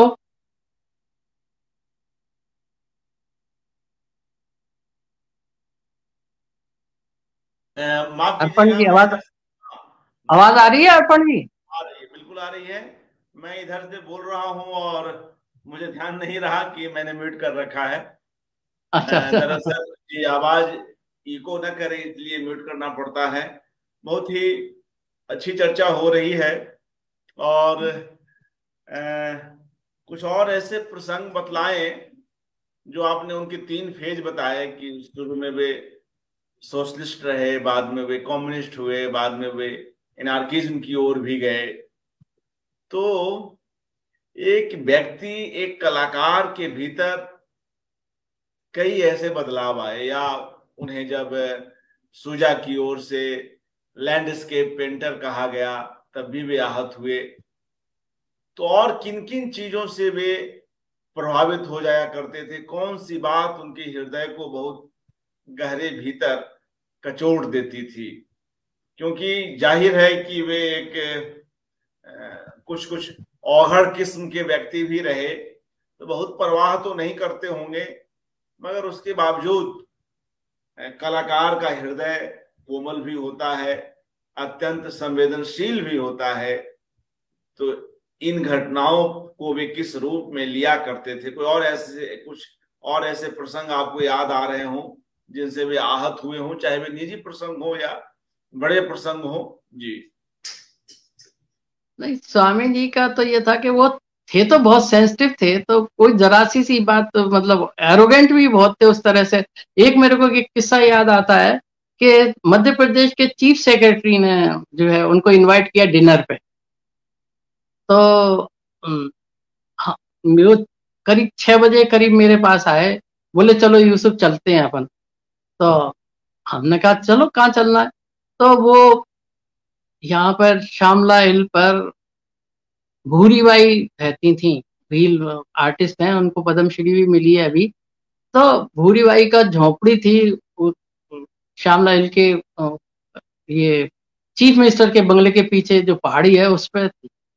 तो हम लोग जो है, करीब छह, साढ़े छह बजे के बाद जो है, वहाँ पहुँचे भूरी बाई के वहाँ झोपड़ी में। ऐसी बातचीत करने लगे, कैसा, क्या है? तो भूरी भाई का हस्बैंड को बोला कि, चलो, कुछ खाना बनवाते हैं और यहाँ से सामान लेकर आओ खाने वाने का और यहीं खाएँगे और तो तुम अपने लिए भी तुम्हें जो दारू जो लगती है वो वो आप ले आना। ऐसे करके दिए और ड्राइवर के साथ भेजा और हम लोग बैठ के बातचीत करने लगे। थोड़ी देर में वो सब सामान वामान आ गया। बुरी भाई उसको बनाने लगे और ये अपना थोड़े, थोड़ा सा ड्रिंक लेने लगे दोनों जने। तो ये करते करते रात के साढ़े ग्यारह बज साढ़े ग्यारह, बारह बज गए होंगे। तो बोले, यूसुफ, अब चलो। यानी क्यों, क्या हुआ? नहीं, बोले, अब चलो, अब वो चले गए होंगे मेरे को समझ में नहीं आया कि क्या बात हो गई ऐसी। तो बोले, नहीं नहीं, वो चीफ सेक्रेटरी ने डिनर पे बुलाया था। मैं जाना नहीं चाहता था। मेरे को कुछ ठीक नहीं लगा। तो मैं इधर आ गया। तब मेरे को मालूम पड़ा कि मतलब उनकी एरोगेंसी भी इस तरह की होती थी कि जरा से मैं उनको लग जाए कि कोई बहुत ज़्यादा अपने को बड़ा और वो सम, सम बता रहा है तो बिल्कुल वो परवाह नहीं करते थे। कितनी बार मैंने इस तरह की चीज़ें देखी हैं जिससे जो है कि उन्होंने कुछ इस तरह से अपने आप को प्रदर्शित किया है या तो बहुत ज़मीन के लेवल पर आ जाते थे। जैसे एक, जब यहाँ से भोपाल से जाने वाले थे तो एक ट्री पर आती थी उनके, जो मौसी थी, उनके लिए कुछ बेड सूल वगैरह हो गए थे। उनकी सेवा करती थी कुछ कुछ ये सब साफ़ सफ़ाई, ये सब करने का। तो उसको करने, उन्होंने बीस बाईस हज़ार रुपए का एक चेक हमारे सामने काट के दिया। तो वो कभी कभी तो इतने उस तरह से सोचते थे दूसरे के बारे में। और मतलब हालाँकि उनके पास बहुत ज़्यादा पैसे रहते भी नहीं थे। मतलब ये होता था कि इतने सारे लोग आ जाते थे घरों में कि और चार बत्ती का स्टोव होता था। तो वो जो चार बत्ती वाला स्टोव होता है ना, वो बहुत धीरे धीरे खाना उस पर बनता है बड़ा मुश्किल होती थी तो फिर मैंने कहीं से गैस कवाड़ के कल जुगाड़ जुगुड़ के रखी ताकि खाना तो ठीक से बन जाए। और उसमें ये होता था कि स्वामी जी के घर कोई भी आ गया है तो खा लो ये बैठो ये चाय पी लो। तो उसमें घंटों लगते थे बत्ती वाले उसमें तो बहुत परेशानी होती थी। खैर वो होता था और दूसरा ये भी होता था कि महीने के आखिर में पैसे खर्च हो जाते थे सारे उनके तो अच्छा ड्रिंक करने भी बैठे हैं तो तुम भी पी लो तुम भी पी लो तो ऐसे आठ दस लोग बैठ गए और वो आ, मतलब वो तो पैसा उसमें बचता नहीं था लास्ट के दिनों में। तो वो फिर मेरे से बोलते थे, यार यूसुफ, कुछ है चार पाँच सौ रुपये? तो मुझे तो मालूम था कि उनके साथ ऐसी हो जाती है। तो मैं रखता था, मैंने कहा हाँ है ना लीजिए तो बोले, नहीं, मैं पहली तारीख को दे दूँगा। मैंने, कोई नहीं, आप रखो उसमें। और पहली तारीख को तनख्वाह लेते ही फिर वो मुझे देने आते थे। मैं कहता था, नहीं, मुझे आप रखो, मैं इकट्ठा हिसाब करूँगा। अभी नहीं कर रहा हिसाब। तो इस तरह की व्यवस्था हर महीने मतलब ये होता ही होता था कि लास्ट में जाके पैसे खत्म हो जाते थे और तो इसलिए कभी उन, और जबकि उनके पास और कमीशन वर्क और वैसे वर्क बहुत आते रहते थे और पेंटिंग खरीदने भी आते थे, मगर वो सब उनके अंदर वाली जो बनियान की जेब होती है ना, बंडी जिसे कहते हैं, उसमें पड़े रहते थे और वो बिल्कुल छार छार टुकड़े टुकड़े हो जाते थे वो सारे लेटर, चेक, ऐसी चीज़ें मतलब वो बार बार निकालना बार बार रखना लेट उनके जवाब नहीं था ओ यार, बड़ा नुकसान हो गया, ये तो इम्पोर्टेंट लेटर था, ये खत्म हो गया। तो इस तरह का थोड़ा सा उनका व्यवहार था, बहुत अजीब मतलब उसमें वो डिसिप्लिन नहीं था, जो पेंटिंग में डिसिप्लिन था। उनके अपने जीवन में वैसा डिसिप्लिन नहीं था। ये मतलब कई बार मतलब ये खाने पीने का, उसमें जो है अच्छा फिर ये भी था कि जैसे पूरे महीने ऑफ़िस में कौन काम करे चलो कहीं घूम के आते हैं तो कभी काना खिसली चले गए, कहीं जाबुआ चले गए, कहीं किधर ही चले गए, बैठ जीप ली और घूम घाम के आते थे ताकि थोड़ा सा वो स्ट्रेस खत्म हो जाए इतनी सारी चीज़ों का। तो ये मतलब हम लोग तो उनकी वजह से ये सारा पूरे मध्य प्रदेश को भी देख पाए, नहीं तो हम तो मध्य प्रदेश भी नहीं देखा था, देश तो छोड़ ही दो। तो ये और फिर ये सारी चीज़ों को धीरे धीरे समझना, जानना और प्लानिंग कैसे करना उनको। तो ये सारी चीज़ें उनसे सीखने के बाद ये उस तरह से इसका एक स्तर बन गया था भारत भवन का कि सारे लोग उस तरह से उनको देखने लगे थे कि हमें भी इसमें मौका मिले आने का, काम करने का। ये था। तो ये भी और कितनी बार ऐसा भी होता था कि ये जो एक बार तो ऐसा ही हुआ कि, ज़्यादातर वो स्वामी जी तो जिन पीते थे। तो एक विजय मोहन सिंह जी, अशोक जी और ये और भी लोग थे। तो वो जिन तो सफ़ेद रंग की होती है तो पता तो पड़ता नहीं है, पानी है कि क्या है जब तक आप उसे टेस्ट नहीं कर तो बहादुर था, वो ला के रखा उसने। उन्होंने सबके उसमें गिलास में डाल दी और पानी भी डाल दिया।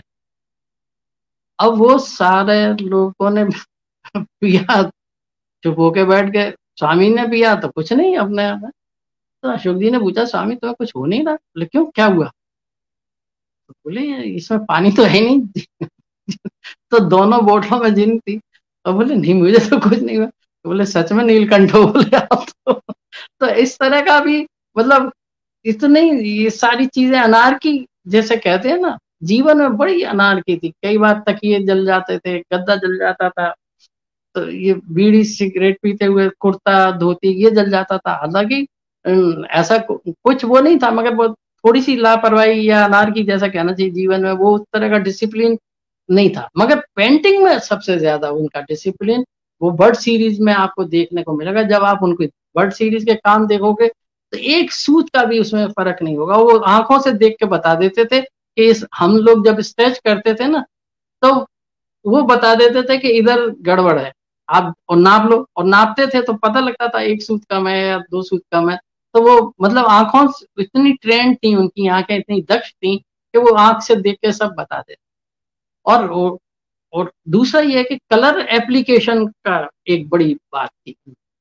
घंटों वो कलर को फेंटते थे घोटते रहते थे, फेंटते रहते थे वो कटोरे में लेके, फिर उसके बाद अप्लाई करते थे।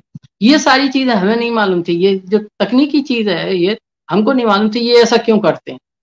मगर उसका नतीजा ये होता था, उसमें अपनी खुद की एक चमक पैदा होती थी कलर की। तो वो उसको लगाने के बाद अभी भी जैसे आप उनके पुराने पेंटिंग देखोगे तो उतनी चमक के साथ दिखेंगे। विंसन न्यूटन के कलर जो अप्लाई करते हैं। तो एक बार क्या हुआ, हम जब कंटेम्प्रेरी आर्ट गैलरी में घूम रहे थे तो मैंने अकबर पदम सिंह के काम को देख के कहा, इनका काम तो अच्छा है। ऐसे कभी बात हम करते थे किसी किसी भी आर्टिस्ट के बारे में, ताकि उनके विचार हमें मालूम पड़े। बोले बोले क्या अच्छा है? उनका ये भी था, जैसे मैंने पॉजिटिव कुछ बोला है। तो वो उसके विरुद्ध बोलेंगे नेगेटिव बोलेंगे उसके। तो बोले, इसको तो कलर लगाना नहीं आता। बोले, मैंने कैसे साहब कलर लगा? तो उन्होंने कहा थोड़ा सा तिरछा होके देखो, कहीं चमक रहा है, कहीं नहीं चमक रहा है। तो ऑयल में उसने मिक्स नहीं किया उसको। तो ये बात तो ठीक है मतलब वो तो बहुत इतना मिक्स करते थे कि ऑयल उसमें कलर में मिक्स हो जाए और उसकी वो चमक उस तरह से बनी रहे। कहीं ऐसा नहीं दिखे कि कहीं कलर चमक रहा है, कहीं ऑयल चमक रहा है, या कहीं रूखापन दिख रहा है। तो ये सारी बातें जो है वो हर आर्टिस्ट के पेंटिंग के सामने जब भी हम घूमते थे, दो चार छह दिन में वो ज़रूर राउंड लेते थे उस कंटेम्प्रेरी आर्ट गैलरी का, उसमें चाहे क्वालिटी का काम हो या इस काम हो तो हर एक के काम के बारे में बताना और समझाना और उसमें, और उनका ये भी था कि अगर आपने सवाल, किसी ने भी सवाल पूछा है तो वो पूछते थे, यूसुफ, मैं इधर बोलूँ कि इधर बोलूँ? नेगेटिव बोलूँ या पॉजिटिव बोलूँ? तो उनमें दोनों में की उसकी दक्षता थी। बोलने की। अगर मान लो उसके विपरीत भी बोलना है तो वो ऐसे तर्क निकाल के लाएँगे कि आप बिल्कुल कायल हो जाओगे कि हाँ सही बात कर और समर्थन में भी बोलना है तो वो ऐसे बोलेंगे कि बस क्या बात है कि इनसे ज़्यादा मतलब और कोई अच्छा बोल उस तरह से नहीं सकता उस समर्थन में। तो ये जो उनकी क्वालिटी थी, वो मल्टी टैलेंटेड जैसे कहना चाहिए, वो तो विलक्षण प्रतिभा के धनी थे और उनके गुण भी बड़े विलक्षण थे। मतलब अगर मान लीजिए आपको इसीलिए उनके पूरे जीवन के उसमें विरोधाभास दिखता है तो कहीं डिसिप्लिन दिखता है, कहीं बड़ा अनडिसिप्लिन दिखता है, बड़ा अनारकी दिखती है उनके जीवन में, और कहीं बहुत सेंसिटिव है तो कहीं बहुत एरोगेंस भी है। तो ये जो उनका व्यक्तित्व है, वो मतलब उन, और कई बार तो ऐसा भी होता था, बल्कि देश की समस्या को लेके या किसी और की समस्या को लेके उनके आँसू तक निकल जाते, इतने सेंसिटिव हो जाते थे। और कई बार तो कहते थे I want to die I want to drink and die तो ऐसे भी मतलब खाना भी खाते खाते मतलब बड़ा मुश्किल होता था खाना खिलाना। कई बार दोपहर में ज़्यादातर वो मेरे साथ ही खाना खाते थे। तो हम लोग बैठे रहते थे कि कब ये शुरू करें। नहीं, बोले, तुम शुरू करो, तुम शुरू करो, मैं करता हूँ। एक तो उनका क्वार्टर खत्म होने में ही डेढ़ दो घंटे लग जाते थे। हमारा तो खाना वाना पूरा ऐसे ही हो जाता ठंडा वंडा जैसे तैसे खाते थे। फिर हम उनको कहते थे कि, आप थोड़ा तो खा लो। तो बहुत थोड़ा सा खाते थे फिर जाके। तो उनकी दिनचर्या ये थी कि जैसे ही एक बजा, चलो यूसुफ फिर लंच के लिए बैठे, थोड़ा ड्रिंक किया थोड़ा सा खाना वाना खाया, फिर सो गए। फिर चार, साढ़े चार बजे भारत भवन आए। फिर छह बजे, फिर चलो। तो छह बजे, साढ़े छह, सात बजे फिर कहीं बैठ गए, कहीं पार्टी हो गई या कहीं घर में ही शुरू कर दिया, ड्रिंक और खाना वाना ऐसे दस ग्यारह बज जाते थे रोज हम लोग। और उस बीच ये सारी बातें होती थी जिसमें चाहे वो कला की हो, चाहे लोक आदिवासी समाज की हो, चाहे उनकी काम की हो, प्रदर्शनी की हो, किसी आर्टिस्ट के बारे में बात हो पोइट्री की बात हो तो कभी कभी अपनी पोइट्री भी वो सुनाते थे बड़े रो में आ जाते थे तो अपनी कोई कविता सुना देते थे, कभी कुछ लिखा है तो वो पढ़ के सुनाते थे। या उनको याद होता था तो वो सुनाते थे। तो ऐसी बहुत सारी चीज़ें और कई बार अच्छी कोई किताब पढ़ी तो देते थे कि ये पढ़ना, ये बहुत अच्छी किताब है। तो उनके पास उस तरह से जो है, इतना बिज़ी माइंड रहता था कि अपने लिए तो सोचने का कुछ मौका मेरे को लगता नहीं था। इसी तरह से उनको शायद घर में भी उस तरह से नहीं ध्यान दे पाते थे। वो अम्मा जी जितना कर लें, अपने बूते, वो उससे उनका घर चलता था। बाकी तो मतलब इन, इनके लिए तो बड़ा मुश्किल ही होता क्योंकि वो धूमीमल शुरू में कुछ पैसे देता था, तीन हज़ार रुपये ऐसे कुछ देता था, और महीने के। तो उससे थोड़ा सा वो चलता था मामला, मगर इन, ये खुद ऐसे होके मतलब वो अम्मा जी और दूसरे लोग मिलके जैसे कर लें तो वो हो जाता था नहीं तो बड़ा मुश्किल से सारा मामला था। बहुत मुश्किल। मतलब उन्होंने मतलब अपने वजह से उनकी अनारकी की वजह से थोड़ा मुश्किल हो गया। वैसे तो वैसे कोई मुश्किल नहीं थी। अगर मतलब काम तो ऐसा था कि लोग एडवांस भी पैसे दे, देते थे उनको काम देने के लिए। मगर वो वर्ड सीरीज़ के लिए बहुत लोग देते थे पैसे। तो वर्ड सीरीज़ में काम करना उन्होंने छोड़ दिया।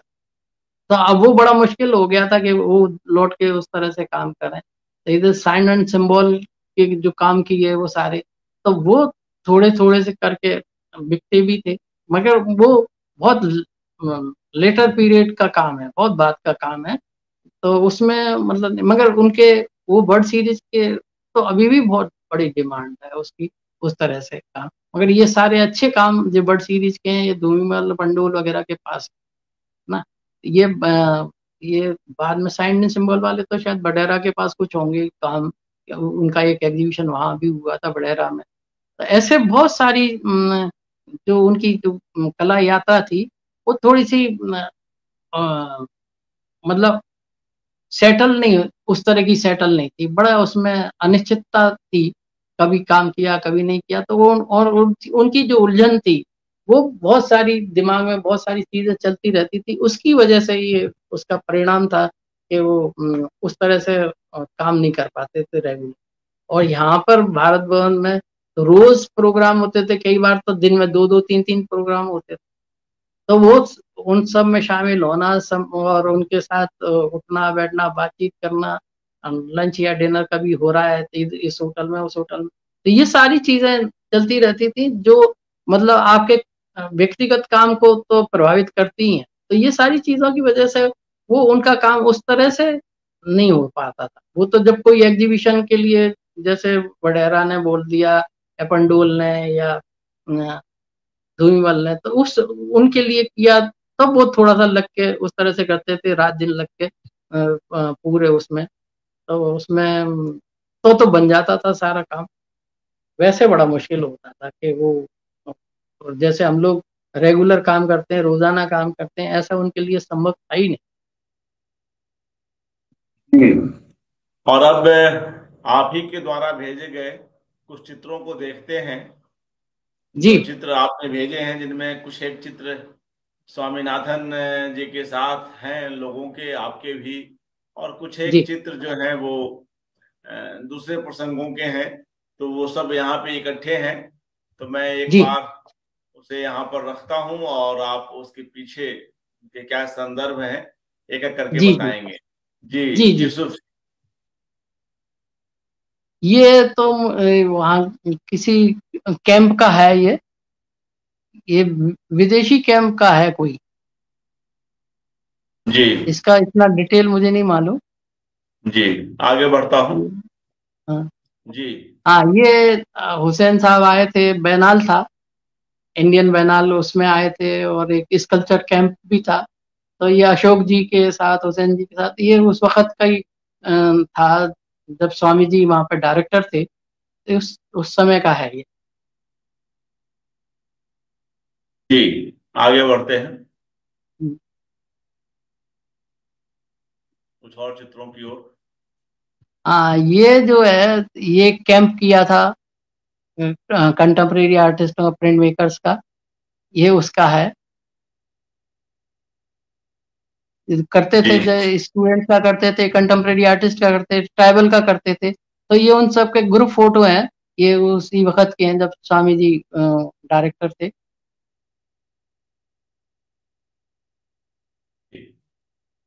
मदन लाल गुप्ता जी लिख रहे हैं हमारे बनारस से। स्कल्पचर। के मास्टर मदन लाल गुप्ता जी बहुत अच्छा हाँ, हाँ। बोल रहे हैं। सुनना बहुत अच्छा लग हम्म। रहा है। आपके लिए लिख रहे हैं। उनका भी बहुत बहुत धन्यवाद। जी जी। आगे कुछ और चित्रों को देखते हैं। जी। जी।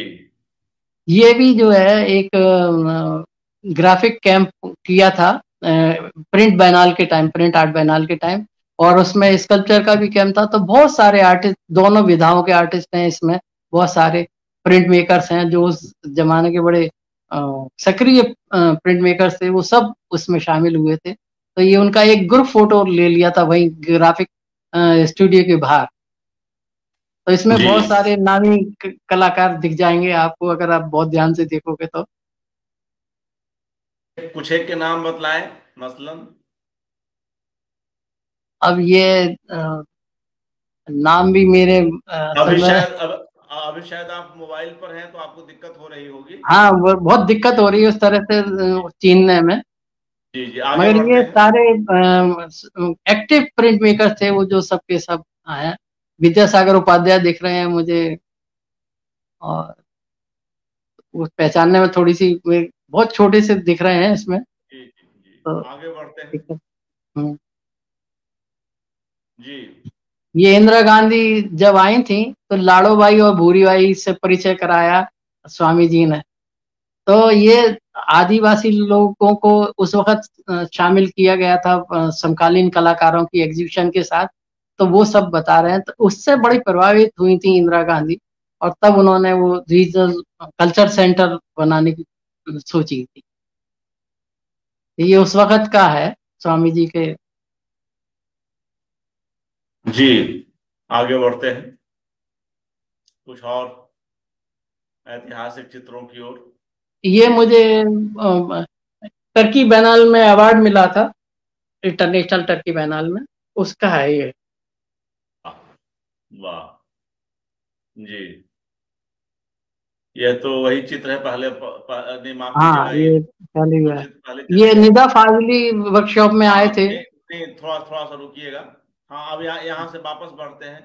दरअसल हाँ। वो चित्र कुछ पीछे हो गए थे। जी ये आप इस पर आपने बात कर ली हाँ। और हम आगे बढ़ते हैं। हाँ जी। ये निदा फाजली जब आए थे भारत भवन विज़िट किया था तो ग्राफिक वर्कशॉप में भी आए थे। ये उस वक्त का है। तो वहाँ जितने आर्टिस्ट काम करते थे तो उनके सबके काम हम डिस्प्ले कर देते थे ताकि सारे लोग देख सकें उस तरह से कौन क्या काम कर रहा है। तो बहुत सारे लोग आते थे जितने भी बड़े आर्टिस्ट एमिनेंट आर्टिस्ट आते थे या राइटर आते थे शायर आते थे कभी आते थे तो वो ज़रूर विज़िट करते थे ग्राफिक वर्कशॉप को। तो उससे बड़े लोगों को फ़ायदा होता था नए आर्टिस्टों को बड़ा इंकरेजमेंट मिलता था। जी बिल्कुल। आ, और कुछ उन दिनों के और भारत भवन के कुछ और चित्र? जी। ये वही वाला है जब अशोक हुसैन साहब आए थे और स्कल्पचर और पेंटर्स कैंप किया था ये सब वाह ये किस वर्ष की बात है यूसुफ जी? ये 86 की बात है। ओके। जी जी। अब इस ये ये ये ये थिएटर राजेंद्र गुप्ता है। ये थिएटर के माने हुए एमिनेंट आर्टिस्ट हैं तो ये भी ग्राफिक वर्कशॉप उन्होंने विज़िट किया था। वो मीडियम को समझने की कोशिश कर रहे हैं कि मैं उनको डिस्क्राइब कर रहा हूँ। तो ये जितने भी बड़े, लोग आते थे, वो सब यहाँ पर चाहे जावेद अख्तर हों, चाहे शबाना आजमी हों तो करीब करीब सब लोग इधर विज़िट करते ही थे।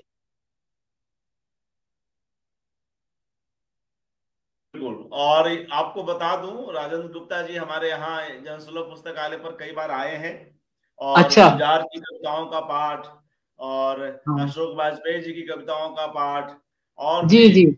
एक कहानियों का पाठ भी उन्होंने किया है। हाँ। अपने कुछ संस्मरण भी रंगमंच से जुड़े हुए सुनाए हैं। मनु भंडारी जी, जी वाले एकाग्र में भी, भी आए थे और आज जब आपकी ओर से मुझे यह चित्र प्राप्त हुआ तो मैंने उन्हें यह चित्र भेज भी दिया है। अच्छा। काफ़ी खुश हुए इस चित्र को देख हाँ। करके। हमने कहा कि यह सारा क्रेडिट जो है यूसुफ जी का है। नहीं ये मैं आपको बता रहा हूँ कि वो वर्कशॉप इतना वो था कि कोई भी बड़ा आर्टिस्ट वहाँ आए बगैर रहता नहीं था। सब देखते थे और नए लोगों से मिलते भी थे नए आर्टिस्टों से। तो उनको भी बड़ा उत्साह आता था कि इतने बड़े बड़े लोग सहज उपलब्ध है उनसे मिलने हाथ मिलाने में बात करने में। नहीं तो आप उनसे मिलना कैसा मुश्किल हो जाता है? बहुत मुश्किल होता है। मगर ये भारत भवन की देन थी कि आपको उसी प्लेटफॉर्म पे वो सारे लोग मिल जाते हैं बगैर किसी औपचारिकता के। बढ़ते हैं और कुछ चित्रों को देखते हैं। जी हाँ। हाँ ये हबीब तनवीर जी मुझे रजा फाउंडेशन का अवार्ड दे रहे हैं। रजा फाउंडेशन का अवार्ड मिला था मुझे। तो ये अशोक जी और यह किस वर्ष की बात है? ये भी ये एट्टी नहीं ninety ninety two ninety three ऐसे कुछ बातें याद मतलब, पूरा मुझे। मतलब तब तब, जे, तब जय स्वामीनाथन जीवित थे। हाँ जय स्वामीनाथन वाह। और जे मैं मित्रों को बतला दूँ कई लोग जानते भी होंगे कि जय स्वामीनाथन जी ने मित्रों यूसुफ जी के रेखा चित्रों पर लिखा भी है। इनके काम पर अपनी राय दी है। आज चूँकि वक्त हो गया और शायद उनके पास वह कैटलॉग नहीं है, नहीं तो हम चाह रहे थे कि यूसुफ जी उसमें से कुछ हिस्सों को पढ़ें, मगर फ़िलहाल संभव नहीं है, क्योंकि उनके पास वह अभी प्रिंट रूप में नहीं है और मोबाइल से दिक्कत होगी। तो कभी और किसी अवसर पर हम उन हिस्सों को सुनेंगे। जी, यूसुफ जी। जी हाँ ये उन्होंने मेरा एक धूमीमल में शो हुआ था ड्राइंग का एक अहमदाबाद में हुआ था। दो कैटलॉग उन्होंने लिखे थे। मगर वो सब नाइन्टी फोर नाइन्टी फाइव इस तरह के टाइम के हैं। तो बहुत सारे लोग ले गए। तो अब मेरे पास उसका कोई एविडेंस उस तरह से नहीं है। नहीं तो मैं ज़रूर पढ़ के बताता। और उनके उत्साहवर्धन की वजह से ही मैं ये सारी चीज़ें आगे भी अपने काम को कंटिन्यू कर पाया।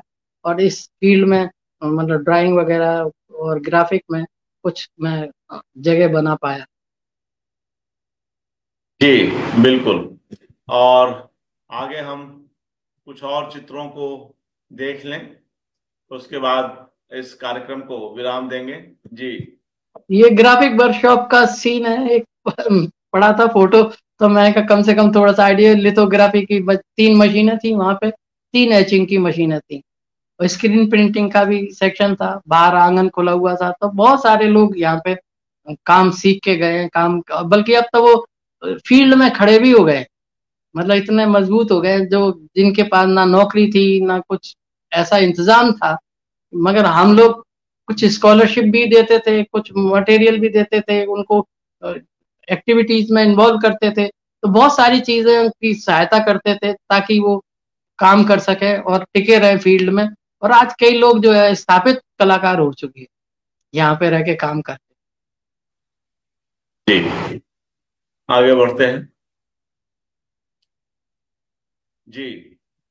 ये प्रिंट बैनाल का वो है टाइम। ये गाय लेगविन है कनाडा के आर्टिस्ट है प्रिंट मीजो टेंट आर्टिस्ट है।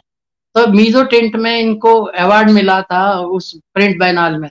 तो उनके शो, उनका काम को हमने डिस्प्ले किया ग्राफिक वर्कशॉप में और एक वर्कशॉप ऑर्गेनाइज की सारे इंडिया के आर्टिस्टों की प्रिंट मेकर्स की और उसमें वो अपने काम के बारे में गाय लेगविन जो है बता रहे हैं। पीछे उनका काम डिस्प्ले है। सीमा कोहली बैठी हुई है और दिलीप शर्मा है और ये वीरेन शाह है। जी। ये बैठी हुई सीमा कोहली है जो आज बड़ी एस्टेब्लिश आर्टिस्ट है एमिनेंट आर्टिस्ट है। बिल्कुल।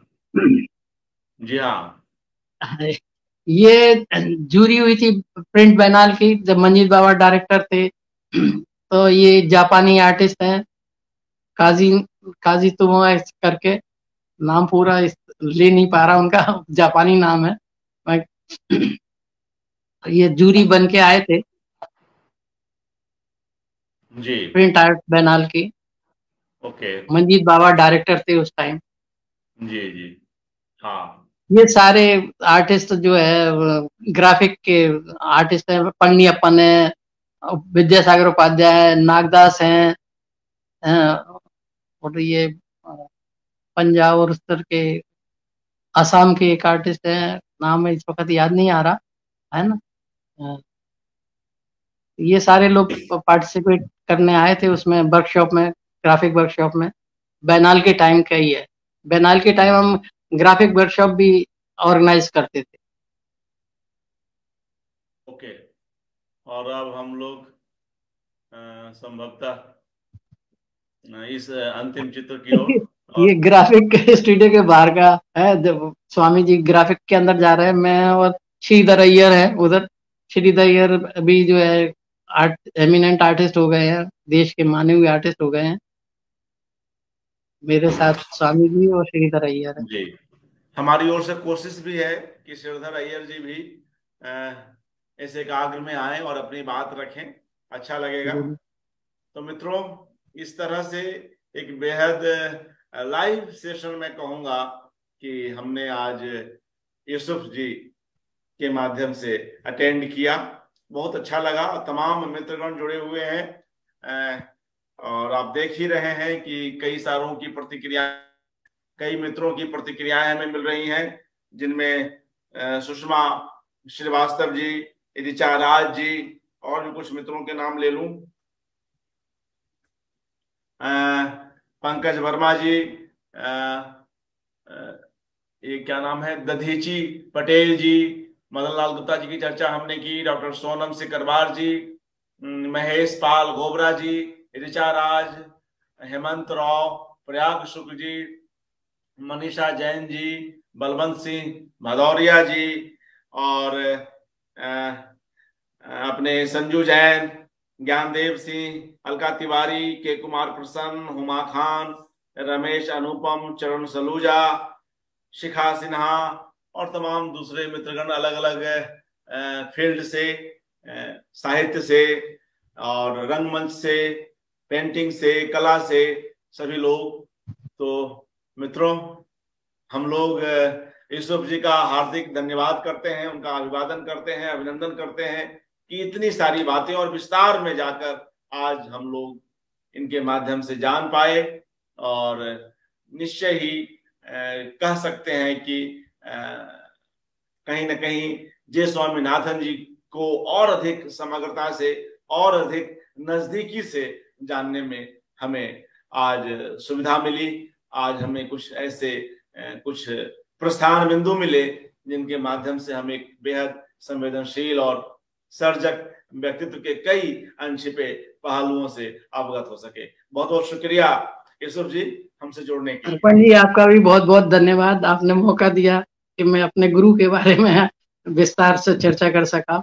और हमारे सारे जो कलाकार भाई हैं जो सुन रहे थे उन सब का भी बहुत बहुत धन्यवाद। बहुत बहुत जी शुभ शुक्रिया। शुभ रात्रि मित्रों जय स्वामीनाथन जी पर यह एक आग्रह जारी है।